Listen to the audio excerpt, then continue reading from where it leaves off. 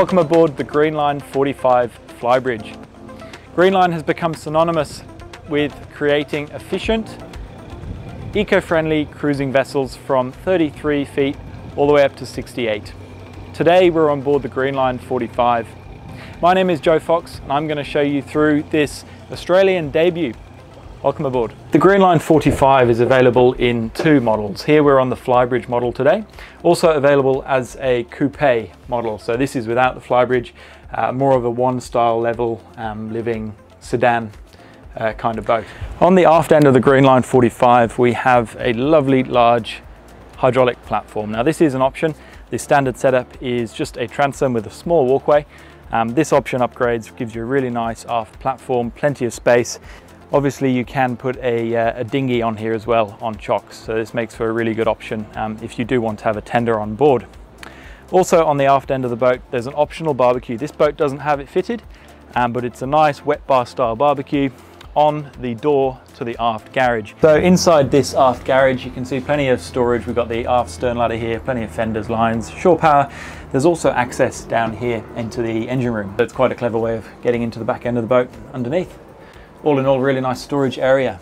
After your swim on the aft platform, you do have the boarding ladder here and a convenient shower for rinsing off, obviously fresh water. Shower with hot and cold.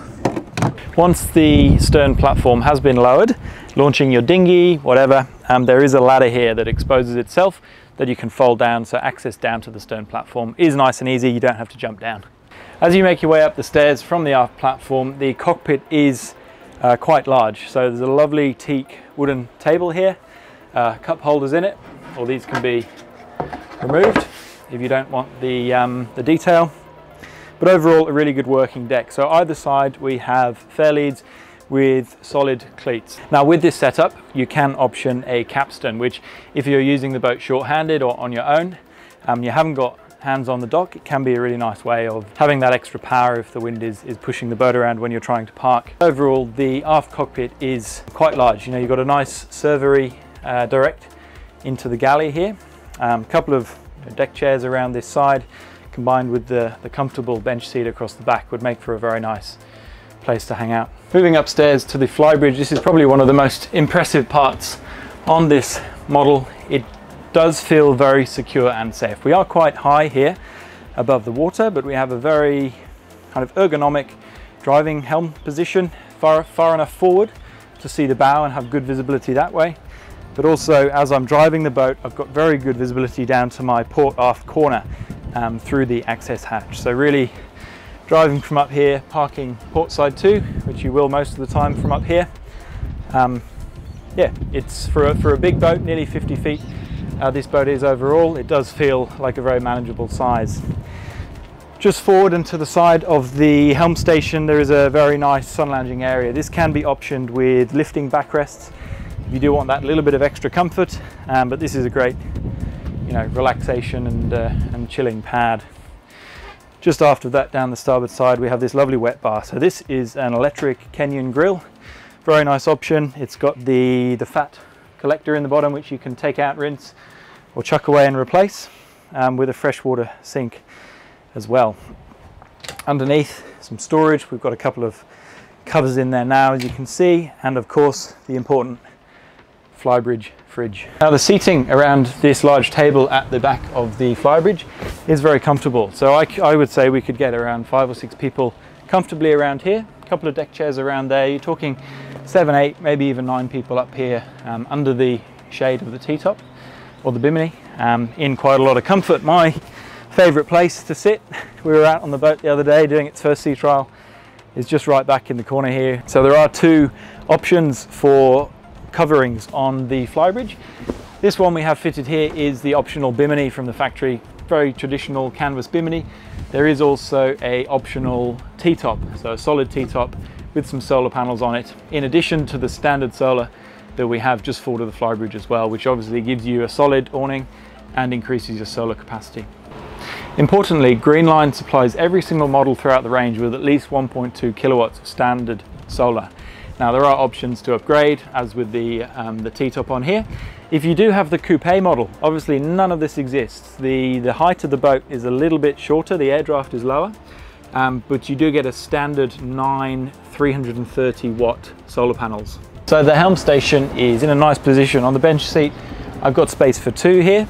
It is a kind of more centered driving position, which is great, you know, obviously on the center line of the boat when you are at speed, but up here we've got everything we need. It's not the master control, so there are some things we don't have access to up here, like the autopilot remote, um, but to all intents and purposes, it's pretty much a mirror copy of what we have downstairs. The Yanmar engine controls, throttle, bow and stern thruster on this model, so parking is, uh, is quite easy. Um, bow thruster is standard, stern thruster is an option.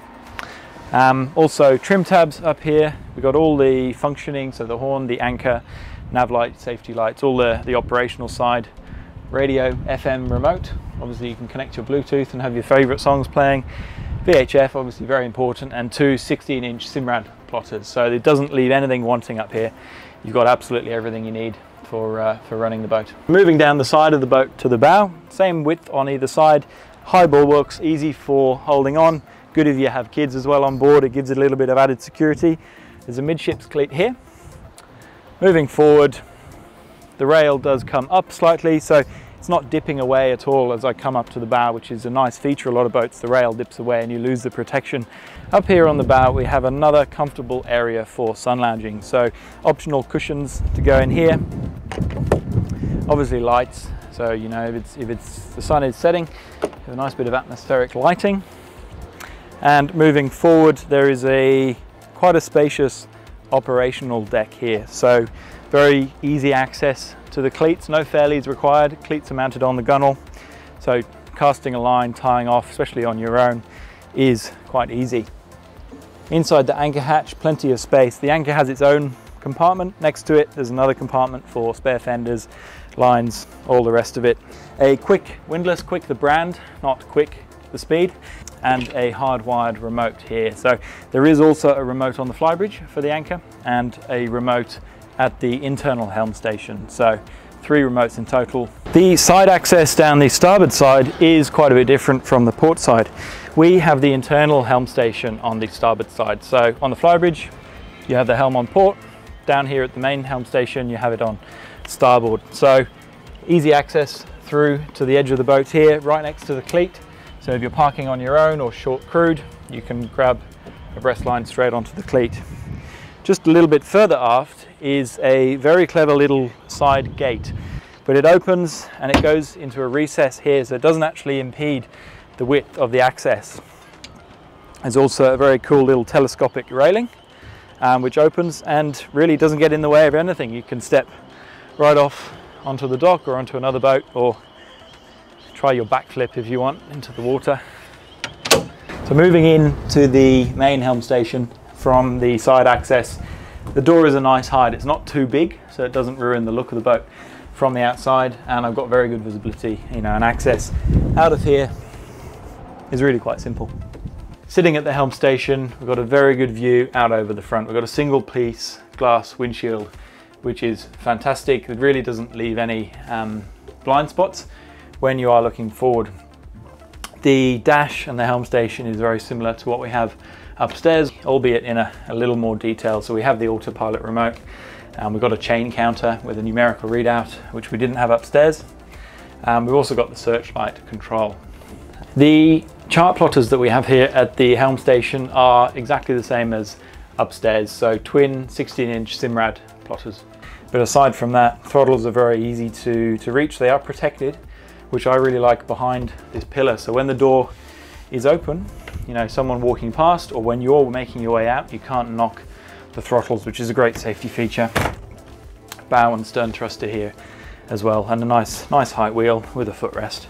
So you can, you can drive the boat seated like I am, or you can kind of perch, but not a lot to be gained from perching. On the coupe model, there is an option for a opening sunroof here. Now, if you do have that option, that's when you might be standing up fully with your head just out of the sunroof. But on this model, it's obviously solid with the solar panels on top. There are four methods of propulsion on the Greenline 45. You can do a standard shaft diesel motor.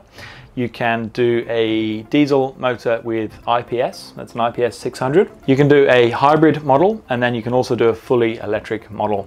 Now the fully electric model is charged from solar power and the shore power. Um, and this is a big lithium battery bank with an electric motor. The hybrid model um, features a Yanmar diesel engine. On the back of the diesel engine is a very large electric motor. Now this doubles up when it's in electric mode, it, it's an electric motor.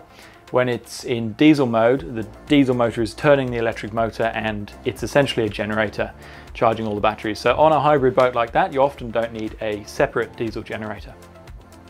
The IPS 600 drive um, obviously gives you some different maneuvering capabilities. It comes with the IPS joystick maneuvering system, which is a very clever system for maneuvering the boat, especially short-handed if you're, if you're on your own. So the hull on the Greenline 45 is quite a fast semi-displacement hull.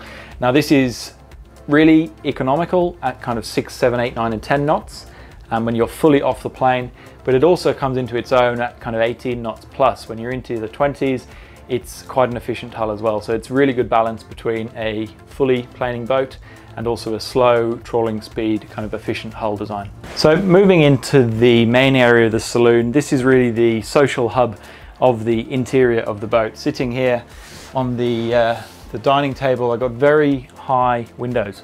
Um, so there's a lot of light coming in. I think it's a clever design feature that, you know, the windows don't look massive from the outside of the boat, um, but internally we've got, you know, the windows taking up nearly three quarters of the wall so it's a very kind of light and airy place. So there's plenty of seating for probably up to six people comfortably around here. Um, focused around this amazing table which is really the centerpiece of the boat. It really brings the saloon to life. It's a very you know artistic piece of uh, piece of wood so it really finishes it nicely inside. Here we have the silver oak finish. Now this is an option the standard interior is a golden teak. It's got this lovely rich golden color to it. There is also a darker walnut, which is more of a brown, and then we have the silver oak on display here. So three quite nice options which complement the interior styling perfectly. The interior has been meticulously designed by Marco Casali, very well renowned Italian interior designer, and that really shows that Greenline have brought him on board. On the starboard side of the saloon and opposite all the main seating area, there is a fantastically large TV. Now this is great because it's nice and hidden away when you're not using it, but you can pop it up and it's really, for the area, it's a big TV and perfectly positioned opposite the seating and dining. Underneath here, there is storage, drawer storage. So moving further aft, we step down one step into the galley. A large sink, lovely Corian worktop, so it blends in really nicely all in one piece. Uh, there is a rubbish and recycling bin hidden here nicely under the worktop as well as an induction cooktop. Um, underneath plenty of storage with space for cutlery and there's also an electric oven down here as well. Microwave options are available should you want them as well. Standing in the galley, looking aft, obviously over the cooktop, I've got a really, you know, it's a seamless connection between the aft cockpit and the galley moving into the saloon. So, you know, for preparing food, it's a perfect boat for, you know, an, uh, an owner-host kind of situation. You have your friends out on the back area, you can be loading drinks out here and, you know, plates of hot food and, and all the rest of it. This does fold up nicely so that the door can close. Opposite the galley at the back of the saloon, we have the classic famous Greenline fridge. Um, Always the biggest in its class on a Greenline with a freezer down here. So it doesn't leave you wanting for fridge space. Storage up top and storage in here as well. Now it's really all these homely aspects that make spending time on a Greenline feel really like it is at home. So it's a very livable usable area. From an operational side, um, the electronic switchboard, uh, master switches for the batteries, all your systems, 12 volt, uh, 230 volt, are all located in here in one place. So nice, easy access to those. Blows me away this boat because everywhere you look, there is a cupboard which opens. So above the galley, plenty of storage. I just noticed down here, even more storage. So every single cavity has a use. It's a really a, quite a clever design. So the best really is yet to come on this walkthrough. Now, the Greenline 45 is renowned for the full beam master cabin located directly under the saloon. This is a three cabin layout. So we have a master cabin, a VIP cabin, and then also a kiddies cabin, a crew cabin, um, just down here on starboard. We'll start just down on port in the main master cabin. Now we're actually down below the saloon here, but you do not feel like you're running out of headroom. The way that it's designed is very clever. So I step up here, but I have plenty of headroom above me at all times. The bed on here is huge. It looks like a king bed. I didn't bring my tape measure with me today, unfortunately, um, but it's way bigger than a queen. It looks really quite comfortable. Um, lots of storage around either side. Look at that hanging room in there. A lovely sideboard here with cupboard storage underneath as well. It's very nicely done in here. It's it's lit incredibly tastefully. It's not not overdone on the lighting. Um, hidden strip lighting above the windows, some nice reading lights, as well as these little directional lights as well. So it um, you know the the light we've got coming in, the natural light in here, is amazing for a cabin that is under the saloon in the very middle of the boat. So very, very impressed with this. On the port side of this main cabin, we have the TV, as well as a heap more storage in there. And the best part of this cabin is the lounge down here. So perfect place to come down, get out the sun, wind down after a long day, read a book with the ocean just a couple of feet away from me there. So um, this cabin is what makes this vessel. So again, I'm just finding more and more storage everywhere. So under these cushions, you know, storage in here, every little area has been made use of. It's very, very clever. So both the main cabins, the master cabin down here and the VIP cabin forward have a connected ensuite um, with a separated shower. So you're not showering over the toilet. It's a full height shower, very, very nice looking rain shower in there. Ventilation and natural light are also good. Moving out of the aft cabin, Greenline again making use of every little bit of space they can on board. Um, so dead space under the stairs, you can actually put a washer dryer in here. So top access, top loader washer dryer. This can also be accessed from in the master cabin as well. Down the starboard side here, we probably have the most configurable part of the boat. Now the standard setup gives this area two walk-in robes. So it's divided in the middle and you can access one of them from the master cabin and the other one from the VIP cabin. Now that's the standard setup. Obviously just gives you two very spacious, very comfortable double cabins on board.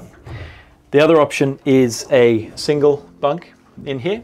There's another option that's a French double. Now that's just a little bit smaller than a normal double that we have here in Australia. And you can also put another bunk cabin in there. So you could really sleep three you know, kids or people that know each other very well in here if you wanted, but the standard setup consists of two walk-in robes, one for each main cabin. Exactly opposite this walk-in robe additional cabin option, we have the day head. Now, this is the main head on the boat that people during the day would use that come down to use it. Same internal quality as the head in the master cabin as well.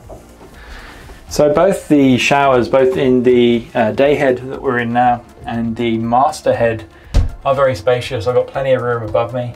The nice part about this day head is that it opens up into the VIP cabin in the bow. So this door into the passageway can be locked, um, giving the VIP cabin direct access, creating its own ensuite for those that want it. Moving from the day head through into the VIP cabin, this cabin is probably as big as most masters in this class of boat. So up forward in this VIP cabin there is an incredible amount of natural light. We have four port lights, two on each side, that can open as well when the boat is stationary.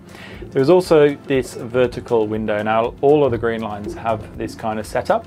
You don't actually see these windows from the outside of the boat, um, but it's nice to have vertical glass and what gives us you know more natural light and makes this cabin feel even bigger is the fact that we have the cutouts in the gunnel, which when you're looking at the boat from the outside, you don't see these cutouts at all. They blend in perfectly with the lines of the boat, um, but it gives me, I'm standing here, great visibility out um, the side of the boat, which would otherwise be quite solid. So very clever design. In the roof, This would be under the sun lounger. If you had it on top, we have a nice skylight with a fly screen and of course a block out blind so that you don't get woken up too early in the morning. Plenty of nice lighting, identical quality to the master as well. So it's really, this downstairs area is really finished on a very high level. And again, this storage that just keeps blowing my mind every time is absolutely everywhere. There is also a small TV here as well. So three TVs on board, one in the main cabin and then one in each large cabin as well. Okay, so there's one last place to look. Let's wrap this tour up by taking a good look in the engine bay, which is of course one of the most important places. I'll jump in and you can follow me down. Access down into the engine bay is via a nice aluminium ladder, so you feel very secure heading down. This engine room is incredibly well laid out. So either side of me, I've got the twin 370 horsepower shaft drive engines um, on this model. Just behind me there is the generator. This is out of the way, it doesn't get in the way of the access to the engine room. Um, but just looking around, you know, it's all incredibly neatly laid out. We've got a 5000 watt inverter optioned on this one, all the controllers for the solar panels, uh, fuel tanks either side in their own boxes. Very important, systems are very easily accessible on this boat. The bow thruster at the stern, as well as the steering, the rudders, the hydraulic, the autopilot, all the important systems that you need good access to. So that brings us to the end of this uh, walkthrough on the Greenline 45 Fly. I'm overly impressed with this model. I think it's fantastic. I think it's perfectly suited to the waterways that we get here. Um, you know, it's a fast boat. It's comfortable in a bit of swell. We've had it in a bit of swell, um, but it's the perfect boat for getting away for the weekend, for longer trips, coastal cruising, um, and a really wide range of um, uses. If you enjoyed this video, do like and subscribe to see more Greenline related content on the eYachts YouTube channel. If you do have any questions about this model or would like to learn more information, drop an email to the team at eYachts. We'd be more than happy to uh, speak to you. We look forward to welcoming you on board and talking all things Greenline. Welcome to the future.